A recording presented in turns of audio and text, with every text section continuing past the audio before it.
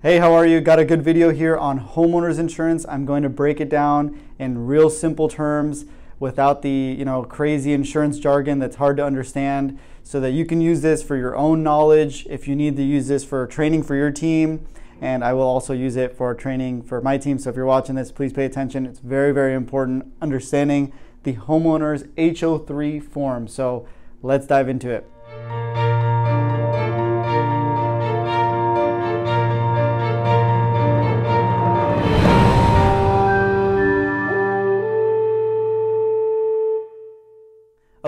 So let's start off with the HO3 form. It's a very standard homeowners form. It's probably what most people have on their home, you know, a standard single family residence HO3. Um, it's a well packaged, well rounded policy. There's primary coverages and then there's also additional coverage, which is which I'm not going to go into. Those are kind of like you know bells and whistles and, and extra bonuses on the policy, but these are the main ones that we're going to go through. So let's start off with the dwelling coverage.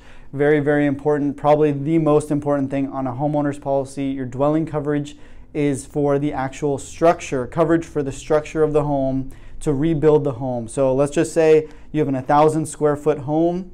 Right now in California, on average, these are average numbers, and always check with the Department of Insurance and your insurance carrier on everything. This is just for you know knowledge, informative knowledge from what I've seen. Um, but right now in California, to reconstruct a home, it's roughly $300 per square foot to rebuild. So if you have a 1,000 square foot home, your reconstruction cost would be roughly 300,000. Okay? So that's to rebuild the home, you know, from scratch back up if it completely gets destroyed or burned down. So that's destruction if it gets wiped out by a car or if it burns down from a fire from the kitchen or electrical fuses, whatever happens to destroy the you know the home, three hundred thousand dollars to reconstruct. Um, there's different forms of that reconstruction cost uh, valuation or actual cost valuation. Um, just know that reconstruction cost valuation is better and actual cash value reconstruction is not as good. It gives you a depreciated value of the home. So you want to use the reconstruction cost always. Um, for your you know dwelling limit. So the next one here we'll dive into coverage B, which is other structures. This is a um, you know coverage for any other structure on the property that is not the main structure. So like let's just say uh, a detached garage or a guest home you have in the back or a shed that you have in the back or fences around the home. Um, or you know walls, fences in the front yard, those kinds of things. These are other structures. Um, so typically you see a percentage of the dwelling limit to be the other structures. Sometimes it's 10%, sometimes it's 20%. Um, here, if we just said, let's just say it's 20%, it would equal $60,000 in other structures coverage. So that's to rebuild the fence, to rebuild the garage, to detached garage, guest home. Um, that's basically it. Other structures, exactly what it sounds like. Um, number three, uh, coverage C, personal property. This is for your stuff in very simple terms. So you're a homeowner, you have furniture, you have TVs, you have, you know, computers, phones, um, clothes, china, like a nice dining room, you know, china in your, your kitchen, plates, all those kind of loose items. You don't realize it, but stuff in your garage might add up to, you know, hundreds of thousands of dollars sometimes. So um, a lot of times we see this also being a function, uh, a percentage of your dwelling limit. Um, so let's just say um, 50%. Um, sometimes they're higher. Um, so that would be, you know, 150,000 um, in personal property. So that's going to cover all, like I said, your stuff. Um, fun fact also, if your stuff is in your car, you're parked at Walmart and you're just shopping and everything gets stolen out of your car, you can actually make a claim on your homeowner's policy and they will cover you for your loose items. Even if you're in Europe and you get your camera stolen and your bag stolen and a bunch of stuff, you can claim that on your homeowner's policy um, under personal property coverage. Fun fact, use that for your customers when explaining to them. They always love to hear that. That's a good little bonus tip. Um, and it shows that you know your stuff and you're bringing value always because people want to talk to an advisor who knows their stuff. So, next one loss of use. Loss of use is also kind of similar, to exactly what it sounds like. You can't use your home, like you're losing the use of your home. So, let's just say your home gets burned and it's just like the kitchen's wiped out, your rooms are all burned, and like, you know, it's just in, in bad, uninhabitable condition, your loss of use coverage will throw will bump you know coverage in so that you can have additional living expenses. So if you need to go get a hotel, if you need to get an Airbnb for a month, um, you know other costs associated with losing the use of your home. Um, that's what the loss of use coverage is. Also similar, this one is usually something like 50%. Um, it fluctuates carrier to carrier, so yeah, definitely. Um, I'm just going based off you know one carrier that we use, uh, 150,000 um, to you know have additional living expenses. You'll also see these names kind of change. Like some might say additional living expense for coverage, you know D instead of loss of use. Um, so be aware of that. Next one, personal liability. This is a very important coverage. This is for you know liability lawsuits. So let's just give you, to give you an example, your, your gardener comes on your property and you have a whole ditch that has like a bunch of nails in there and he trips and falls in, gets just stabbed by a bunch of nails inside this hole. I don't know, I'm just making stuff up. Or he hits his head on a stone or something crazy happens and it's negligent because you, as the homeowner, left it kind of just, um, you know, in a, in a you left something that was that was dangerous and and uh, you know somebody got hurt because of it. Or let's just say you invite your kids over your kids have some friends over they're all partying they're doing their thing in the pool and then one kid decides he wants to jump off the roof into the pool. He misses and he hits his head. Now you got the other parents suing you as the homeowner because you allowed them to do this.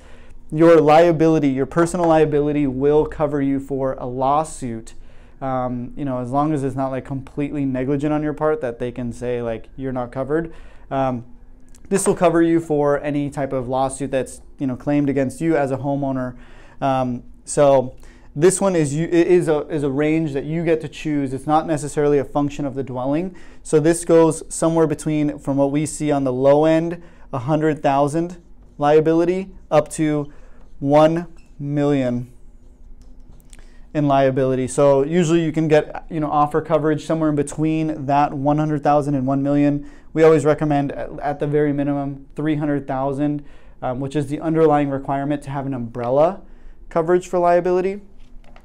Um, so 500,000, a million. We don't recommend 100,000. If someone's going for the bare minimum cheap, then sure, you know if they you know explain to them the risks because liability lawsuits can definitely exceed 100,000 lots of times. So this is for lawsuits. Just be aware. Very, very important coverage. I would put this coverage and dwelling coverage personally my two kind of most important that I like to highlight with customers.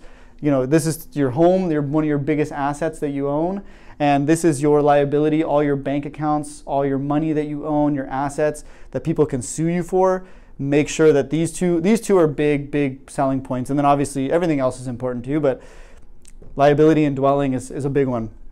Lastly um, the medical payments.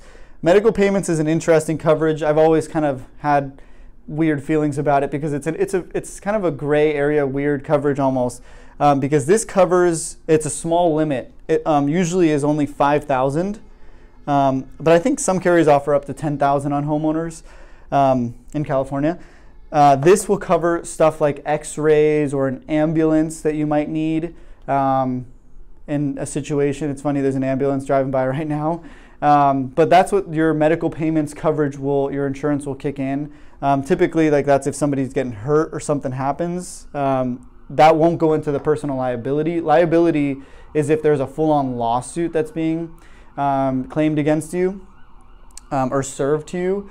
Um, hope you hope you can hear that. And then um, yeah, so that you know some of those expenses, those medical expenses, I mean they will obviously go into like a liability lawsuit, but smaller things like if it's just an X-ray or an ambulance that you might need, um, your medical payments will kind of cover that there. So um, that's pretty much it in a nutshell. All of these coverages, like I said, there's additional coverages like water backup, service line coverage, personal injury coverages that are also usually packaged in um, with the homeowner's policy, which I didn't go into here because these are the main ones you really, really need to understand. All those other ones are kind of bells and whistles that certain carriers offer. So hopefully that helps you, um, you know, understand these in a little bit more simple terms. Hopefully, if you're using this for your team, um, hopefully that helps them. And if you're watching this and you're on my team, um, please, please pay attention. Watch this multiple times because it's really, really important There's more to this also. Um, anytime you do have questions, always check with underwriting with your company, with your carrier, um, and Department of Insurance in your state. Um, but that is it in a nutshell. I hope that helps, guys. If you got any value from this, please give a like um, to support the channel. Um, please comment something you want to know more about if you don't understand. I'm happy to answer them and go into deeper detail.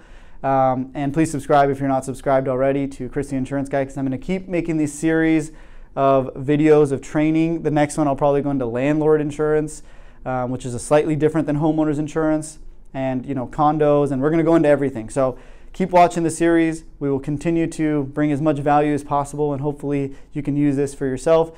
And uh, we'll do some giveaways soon too. Um, so keep an eye out because we got the book coming out soon. We're going to do some giveaways, and uh, that's all I got. I hope that helped. I hope that helped. And uh, also check us out on social media, Adelfia Insurance um, on Instagram and Chris the Insurance Guy on Instagram. We'll see you guys soon. Thank you so much. Hopefully that helped. We'll see you soon. Peace.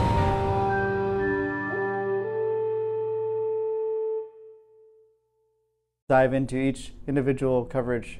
Let's start over. Testing one, one, one, one. Hey, I'm going to show you a little something about home.